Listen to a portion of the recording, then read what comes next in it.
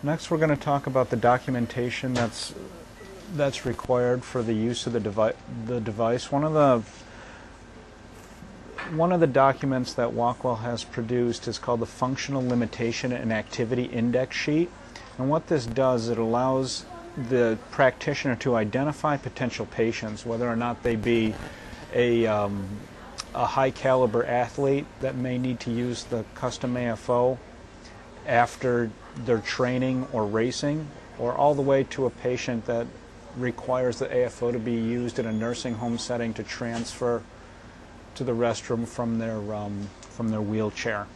So we use this as a pre-treatment tool to gauge the impact of the foot and ankle problems on the patient's daily life. And we can also use this concurrently with the AFO treatment to gauge the progress that the patient um, is experiencing with the use. So we have the patients fill this out to see if they are having any difficulty with their function. The patient needs to have the potential to benefit functionally from the device, and this gives an opportunity for you to put this in your chart to gauge the progress that they've made with the use of the uh, Stepwell Custom AFO.